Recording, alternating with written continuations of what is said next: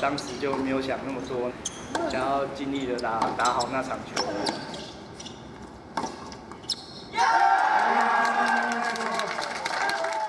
越关键的时候，就是他的表现，呃，就是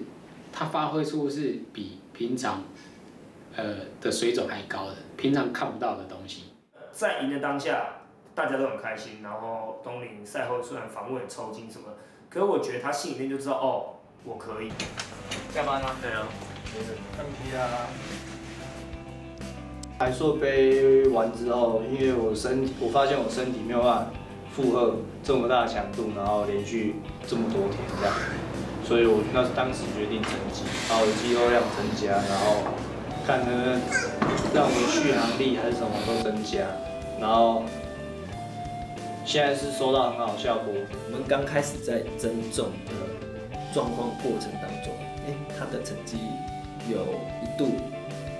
也不算往下走，就是持平的状况，大家就开始会觉得，哎，东你最近变那么大只，这样可以吗？所以那段时间就大家会稍微有点质疑。他在快到八十公斤的时候，哎，那时候状况就很好，就力量出来的时候，那个推动自己体重的能力变得更好，所以反倒是以前跑不到的小球，后来现在几乎都跑不到。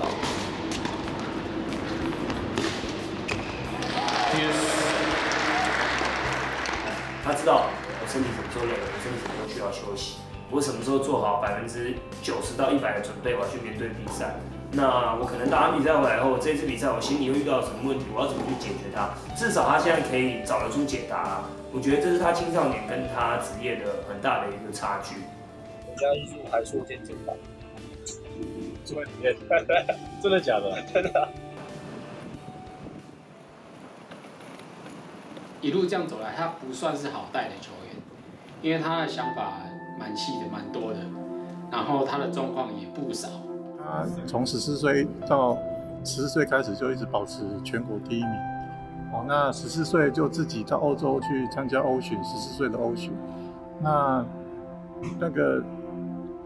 那个压力其实是蛮大的，因为他觉得他他在国内是第一名，然后算一下，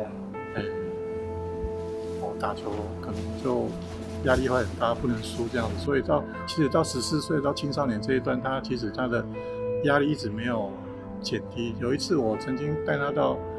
纽西兰去比赛，他当场就在球场发飙啊，就就就就哎呀就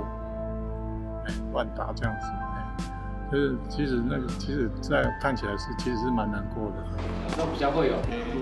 呃，比较在练球的时候都会比较收一点，他不会，他不是那种尽全力，那个很拼的那种小孩子，以前呢不是这样子，但现在好多，现在比较比较几乎没有这个问题在，自我要求的部分提高了非常多。25,000 in China, Hong Kong, and Taipei uh, from the end of May to uh, July. 小时候可能比较不会控制自己自己的情绪啊，就是可能因为毕竟他们都还是长辈啊，还是什么的啊，然后他们也多少会有一种上对下的关系，然后小时候就很不喜欢这种感觉啊，然后情绪来可能就会跟他们吵闹，但是其实心里还是爱他们。还好，就是现在，哎，进入职业了，那也寻求那个运动心理智商的帮忙哦。那个台湾体大的庄老师、庄燕慧老师他帮忙。那这一快大概几个半年多来，进步蛮多的。那也持续都跟庄老师每一次比赛前后都有跟庄老师这样讨论。其实他这一年看他真的进步蛮多。那对自己的体能要求也跟过去不一样，他自己对自己的要求蛮高的。他要呃排名前三十，就这个目标，他最第一次他就这样跟我讲，所以我就很单纯看到他有一颗很受教的心，然后很愿意改善自己。为什么？因为他的目标很明确，他的心思很单纯，他就觉得如果有一天我打网球，我可以到达那样的成绩，是一件很美好的事情，不复杂。所以我要这样。有时候就是到一个时间点，你就会自我反省，说，我想要，我想要再增加我的什么东西，还是什么，你就会很积极的去查资料啊，你再来要怎么做啊，你的目标。他自己本身喜欢阅读，所以像这种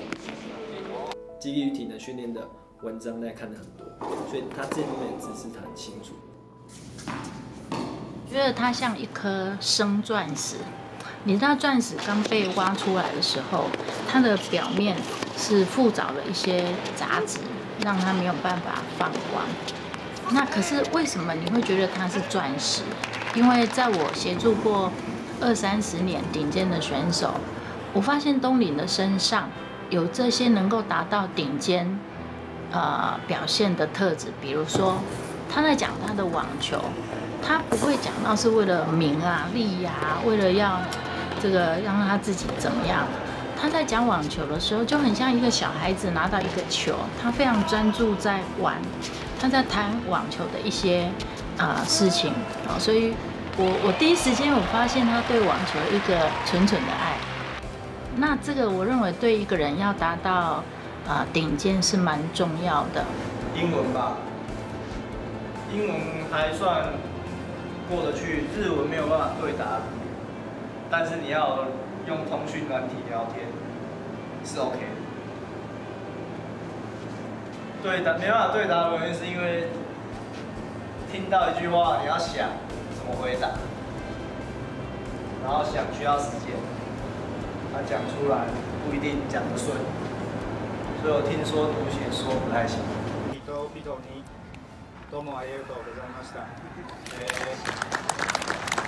就真的很喜欢打，就感觉离开网球还是会舍不得，每天都想要在尝试新的东西，想要每天想要进步。那一次我看名单，我们台湾队的名单，呃，Jason 陈迪，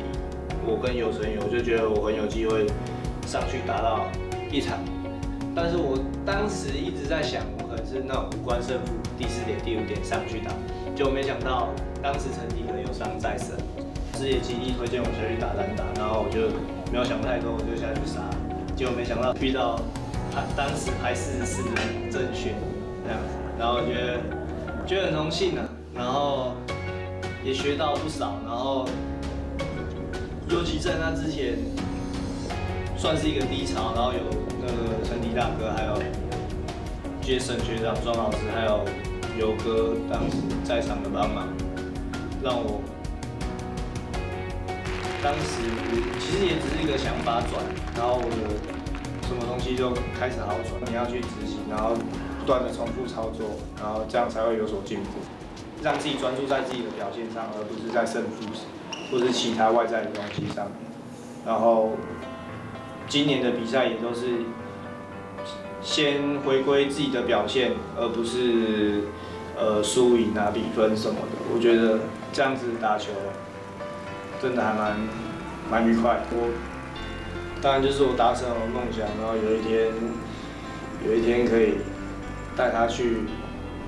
带着他去打四大满贯赛。不止不止东岭，他希望可以达到。啊，连东岭的爸爸都希望我们在旁边帮忙他的蔡教练啊，那个许教练，我们可以一起到温布登，我们都自己都有这个梦想。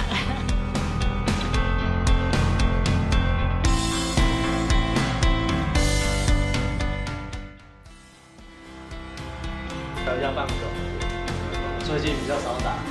对啊，没有人接我的球。钟景雅，这么看过。